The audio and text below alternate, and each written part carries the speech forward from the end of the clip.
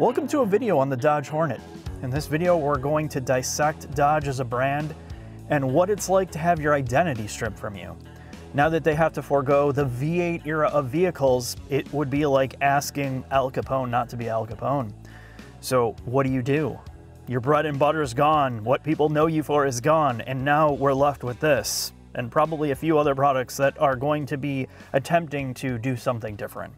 The Dodge Hornet is a CUV that they've taken an architecture that is very old and tried to create something new out of it. And the angle that they're going for is fun and fast, okay? In this, I'm going to talk a little bit more seriously about it, and Jack is as well. And when you look at it, most people just see the proportions are like it's not so bad. It is a very smooth looking appearance. It's not shouty. It is also not overstyled. This harkens back to some of the older Dodge products that may have been a little bit more cohesively designed on the outside and the inside. And I, would say because of the Stellantis connection, they have access to more resources and part sharing.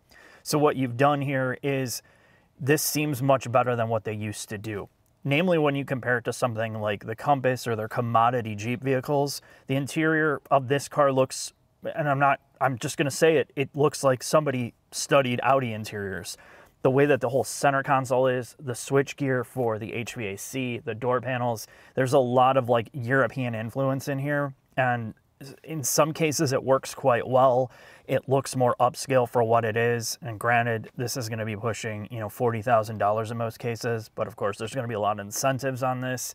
Um, it is one of the better Dodge interiors from a quality perspective but you know they've typically been behind in that game. So it's really good to see that they're making effort. They know that this is very important. Now, is it going to be important to the Dodge enthusiasts, the people that have gone to Dodge in the past? And that's something that they're going to find out very soon. Seat wise, great seats. The usability and ergonomics is really good. The storage is pretty decent overall, and the way that everything is laid out is easy to use back seat room is about average for this class, and so is the cargo capacity. With the seats up, it's clear that you're going to struggle putting things in the back, and I, I noticed this right away. I'm like, it's not all that different from like a larger sedan. Uh, it's certainly not going to be class leading. If you're looking for pure cargo capacity, you're going to go to a more traditional like CUV SUV. Everything else in here in terms of infotainment and technology is a little bit more sorted out uh, compared to some of the other brands that are in this price range. The infotainment seems slow. This seems to operate pretty well, but there is more crashes. It, it does glitch out and get slow once in a while, but it is pretty quick to boot up. Phones pair quickly. Uh, in terms of tech, in terms of the electronic gauge cluster, I noticed that the frontal crash mitigation system is always canceling itself out and erroring out. It's something that we definitely noticed. The horn also doesn't work, which is probably indicative of this car being serviced and maybe having the wheel removed and not reconnected. So God knows what's been going on with this car in the background. So I don't want to judge everything just on face value but this is one of their better interior jobs. It's one of their better layouts, and it's one of their more cohesive designs. Whether that's completely a Dodge thing or really their, their shared resources is another matter. But Jack's going to tell you about the technical attributes of this car in the shop. In the shop with the Dodge Hornet RT. Now, as Mark mentioned in the beginning of this video, this is a very important product for Dodge because it represents Dodge's next chapter a chapter in which Dodge has to figure out what they are in a post Hellcat world. They can no longer rest on their laurels of being that muscle car manufacturer. They have to prove to their customers that Dodge is still a viable option. And to be honest, they are leaning into what Dodge used to mean for a lot of people sporty, somewhat inexpensive fun. So the Hornet specifically is a small, non premium CUV which competes in a very, very competitive class. Vehicles like the CRV, which is excellent, the RAV4, which will outlive you and I, the CX5, which is great, and about a billion other SUVs, is this class the Hornet is thrusted into. And what they're trying to do as an organization, Dodge that is, is build the sportiest non-premium CUV, which is an interesting sort of niche to put yourself in. So the Hornet GT, which is the base model, this car comes with essentially two trim levels, the GT and the RT, the GT with its four cylinders apparently the most powerful, non-premium, quickest CUV for around $31,000. It's good for 0 to 60, about six and a half seconds. Now, moving past that, what is this car from a technical perspective? Well, it has a mechanical clone. That is the Alfa Romeo Tonale. It is a vehicle that is on the small, wide Fiat Stellantis platform. It is their long wheelbase variant, which also underpins the Jeep Compass. This is a very, very old architecture, which traces its roots back to the early 2000s with a small Fiat SUV. Obviously, it's been massaged and changed over the decades it's been around, but that's what you're working with. From a suspension perspective, it is strut front and strut rear. It is the only SUV I think I've ever been under with that configuration. It is a Chapman 3-link in the back and it is a MacPherson strut front. The cars, or the trim levels, the GT and the RT, both come with Koni FSD passive dampers as standard. When you option in the track package, this is not a track car, this is their sport pack, the base car and the RT both now get Marelli dampers. They're a adaptive damper that has regular and sport, what's good for slightly better body control and a sportier feel. The cars, the GT and the RT, both have different uh, steering ratios. The RT is a little bit quicker, the GT is a little bit slower. Both cars come with brake-by-wire as standard. The RT gets four-pot Brembos, and when you put the track pack on the GT, it then uprates their smaller brakes to these four pots.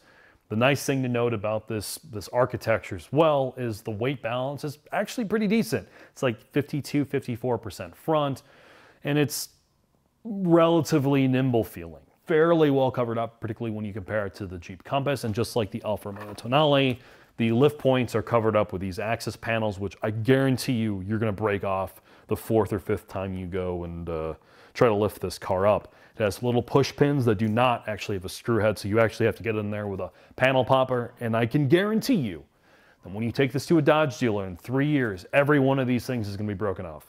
Now, let's talk about drivetrains. The GT and the RT are the two vehicles. The GT is 31-ish thousand dollars, the RT is in the low 40s. The GT trim level, which we're not underneath, gets the Hurricane four-cylinder, two-liter turbocharged engine. It's good for about 268 horsepower and 295 foot-pounds of torque. That is on premium gas.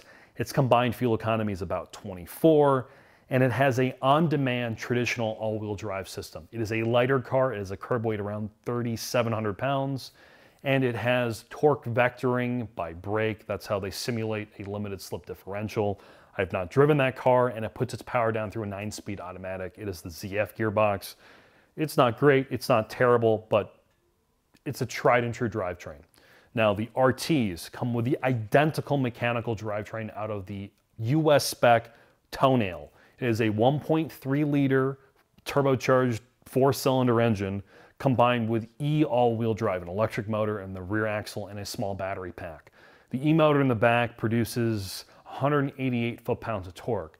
So total system output is actually higher than the Tonale, and that's purely down to software. And this vehicle has hot shot mode, basically boost mode. You pull both paddles, you get an extra 15 horsepower. This vehicle is allegedly good for 0 to 60 in the mid fives when you put it in boost mode and you get a good launch. The main thing is it is heavier than the base car or the GT. The battery pack, which is 15.5 kilowatt hours, it's about 273 pounds. It's in the rear of this vehicle right below the trunk. It compromises trunk space a little bit by about five cubic feet. It's 273 pound weight delta just in the battery pack alone. It's a lithium ion pack. The car has an E range of about 30-ish miles. I haven't gotten that, but it is very, very cold in Illinois right now. Past that though, let's go take this for a quick drive and walk you through what it's like to live with.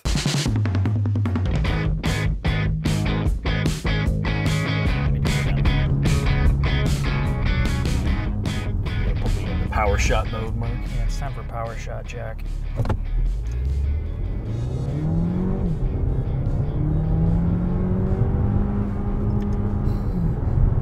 Actually have to shift in this car unless Yeah. you ride redline. That's pretty crazy for something like this. But then again, I mean, it makes sense if you're trying to make some type of performance thing.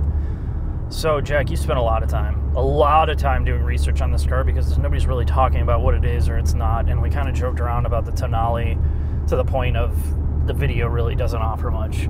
So here it is. You want information, you got it. Let's talk about it. All right, let's talk about ride quality. We're in sport mode right now. It is basically a little stiff. It's not terrible. The car's got reasonable body control for what it is, being a tall CUV. In regular mode, the Marelli dampers, this has the track pack, rides pretty well. I think, you know, given the class of car that it is, it's not bad. And I think my takeaway from this is you know you have the MSRP and then you have the actual real price of this vehicle. The real price, this is not a RT plus, just a regular RT with a performance package. You're getting these things for the low 40s, really high 30s, and what it's offering you is a little bit more dynamic of a driving experience than something like a CRV, and way more involving to drive than a RAV4. Yeah. It is substantially quicker. It's zero to sixty in the mid fives, and it, it feels like it feels like that, I guess. And you have the PHEV factor of this vehicle. You're getting 20 miles or 25 miles, maybe 30 if you're lucky, of E range. And for $40,000, I can't think of another small SUV that offers those factors. Is it a remarkable driving experience? No. But to be fair, none of these cars in this class are. They have, in some ways, delivered on what they're trying to offer in this segment, which is a plug in hybrid mm-hmm. that is quick in a straight line and is not entirely like fall asleep to drive. And so, what do you think about the rest of the vehicle? Things like the steering, the transmission, the brakes, all that other fun stuff. I mean, it, to me, it feels like a, a tarted up Jeep Compass. It, you know, in a lot of ways, right? Like it's quieter. Uh, the damping's way better. The steering is better. Uh, it's way more responsive, obviously, because we're dealing with more power from the plug-in hybrid. It, it's it's taking that platform and trying to, to refine it to the point of it's kind of bordering on the entry level luxury thing for a CUV. So it's not it doesn't feel as like an like an economy CUV as much. It's definitely quick. It's quiet. It's pretty refined overall. Um, the the hybrid powertrain part of this isn't is completely smooth, and this is something I noticed on all all of these types of vehicles is there's a lot of lugging of the engine to get you up to the highest gear, so it it always feels like it's uh, just chugging to, to get you up in the highest gear for fuel efficiency. But other than that, to, to be completely fair to this, from what it is underneath to what they've made it into is quite refined. It's way more refined than I expected for this price point. If you compare this to some of the older Dodge commodity SUVs, like the Journeys and the Compass and the God, the Caliber, this is on another planet. Does it make it a great SUV in this class?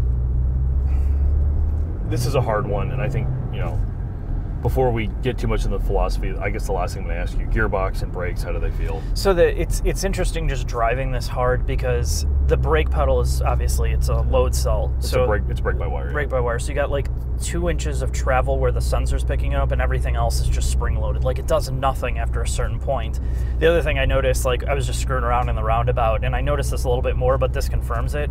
It will not let you go any faster. Like normal stability control lets you get power and then it cuts it on and off, cuts it on and off to like give you a little bit here and there. This just literally will not go down a gear, it will not kick down, and it will not allow you to reach past a certain level of lateral G. So instead of just bouncing off the stability control and brakes, it's like, okay, I know the G force that you're at. I'm not going to give you any more power to get around the corner. It's an interesting implementation. Clearly, if you're buying this, you know it's got it's it's all marketing. Almost all the performance stuff here is just marketing nonsense. And nobody's buying this to, to go to a track or whatever. So it, it's like this strange in between for me of okay you got some of the performance things you want from a cuv that's mostly faux. It's just bs to Yeah. To get you into this car. yeah And I think that all right, that's going to lead me back into the philosophical part. And we had a long discussion, you know, before before this drive about what Dodge is, and I sort of alluded to it in the shop. let me say one thing Yeah. before you say that. You know, I grew up with Dodge products, right? I, my mom had a LeBaron, I had a Sundance, I had a lot of these horrible generation Chrysler product cars, right? And then, you know, the first car that they had made that really impressed a lot of people was the Neon. Like when I drove the Neon RT and some of these like earlier Neons that were great for a small car, it was the first time we had seen an American car manufacturer kind of get it right. And it was the era where it could be good, right? They were ultra lightweight, they were engaging to drive. And then all the American brands seemed to just stop caring about them. I don't know if it was just internal philosophy or what it was, but they all moved towards bigger vehicles, trucks. And one of the things that this brand, it, one of their failings is they're so far behind because all the other brands have kept their cars around and developed the small car platform. Toyota with Corolla and Camry scaling it out, Honda with Civic and Accord scaling it out, VW with the Golf and all the smaller iterations scaling those out to bigger vehicles. Um, and this company what they did was they kept Belvidere alive, the Belvidere assembly plant, to put some of their worst small cars in it. And they never evolved it out. So now they're so behind the eight ball. The Koreans have, are far more advanced. The Germans are better. The Japanese are better. And pretty much everybody else, aside from the American brands, have figured out how to do this. Even Mazda is way better than this. So it leads me to the question to you aside from the marketing, why would you even consider buying this over basically what everybody else has figured out doing way before them. It's the price and the PHEV factor, and the fact that you want to have a little one percent of fun versus something like a RAV4. Is it really fun though? You and I are so broken internally of what fun is and what isn't. If you're coming out of like an old Compass or an Yeah. old CRV or an old RAV4 and you get into this thing, be blown away by the performance. If you're coming from an American car Yeah. thing, American small CUV, Like an this is- Equinox. this is, like next level. Yeah. But if you're if you're used to some of what the other brands have done, this this to me, other than going fast in a straight line, I, I and the plug-in hybrid. the part. plug-in hybrid part of it, uh, under warranty, of Yes, course. under warranty. What else? What else do you have? I, I, and I, I don't know, and I think that's the question Dodge has to answer, and that's getting back to my the point is Dodge is now a different brand. I mean, they can't rest on their laurels of being a muscle car brand. The thing that Dodge had going for them for a very long time is when you thought of Dodge, you got a regular person to think about Dodge. Jokes aside, Yeah. you thought about a Hellcat going sideways, Right. and that noise, and the fact that they are the muscle car manufacturer. For better or for worse, they're the brand that makes like you jokingly call them like uh, meathead masterpieces, right? Yeah, right. They can't do that anymore. So they are trying to reinvent themselves in a world where they don't have the 6.2 liter with a blower. They have to work with four cylinders, hybrids, PHEVs, and EVs to, to rebuild their brand identity and what are they going to do and how are they going to manage that. And I think they're going to have to figure out how they make sporty, whimsical cars using those drivetrains and whether or not their buyers, and their buyers are a fickle bunch of people, right? They are die-hard Dodge people, are going to accept this new way of thinking. Yeah, and, and to, to be fair to them, I do not envy that position because let's to to your point, they're known for brash, loud, emotional cars, and it's like taking, it's like saying you are known for being a big metal band, and then all of a sudden you can't play metal anymore, and you move over to soft rock. You know, it's it's like you can't do what you're good at anymore. So now what do you do? How do you evolve yourself? Yeah, and I, I don't know I don't know how they're going to do it honestly because everybody's going to be doing EVs and plug-in hybrids like sooner rather than later. Aside from putting speakers on the outside and making the things just obliterate their tires, I, I, you know I don't know how they catch up, and I, I would not want to be in that position. And I make, it makes sense why the marketing is so uh, vicious with this, like so ridiculous, because they're trying to, to do it on the marketing side, and I I don't know. Do, are people going to buy into it? I don't know, and I think that's something this brand is going to have to work on. That They, for them to survive, right? The Challenger and the Charger, as of making this video now, are, are dead. Yeah. Right? I mean, the, the Dodge now has what, two products: the Durango and this thing. All right. And you know, Chrysler has one car, Yeah. the, the Pacifica, and I, you know, Ram is great. They've been around for forever, and Jeep is still competitive. But Dodge as a brand now has to figure out What do they want to be, and how do they compete? You know, behind being behind the eight ball with everybody else. Yeah. So, with that, Mark, let's head into the final thoughts where you can summarize the pros and the cons of the Dodge Hornet. Sounds good. Well, if you made it all the way to the end, it looks like you just got stung by the Dodge Hornet. The clear takeaway is this brand is really trying. You can tell with this car, they did everything they could with what they with the resources they had. And it's going to be interesting to see what direction they take, not only from the marketing side, but the the product quality side. So the interior clearly is a step up, uh, and you can thank probably multiple resources for making that happen. And they're taking something that they've had for a long time and trying to make it continually evolving it, make it better. The question is, is this, even with the discounts, going to be enough for people to buy this for the long term? Because this is not a luxury product, right? This is not a lease vehicle where you're like, okay, I'm going to lease it and then get rid of it. This isn't the price point where people are buying real commodity cars like CRV, RAV4s, Crosstreks, all of that, where they're going to buy it to keep it. So, this notion of very complicated hybrid system, plug-in hybrid system at this point. So there's got to be some reason why they can get it down to this this price. Is it going to be reliable? What's the resale value going to be? What's the cost to repair? What's the dealer network like? I think this is where people don't have a ton of money to spend or don't want to spend a ton of money on something and they just want to drive it and never think about it long term. So again, we're going to have to see where this goes, just like the Tonale. Um, overall, it is good as a new product. It drives great. You know, you have the electric range part of it. Uh, the handling's good. Some of the things they've integrated into it in the interior are pretty well done. So uh, time will tell, and that's where I'm going to leave it. Thanks for watching. I'll see you next video.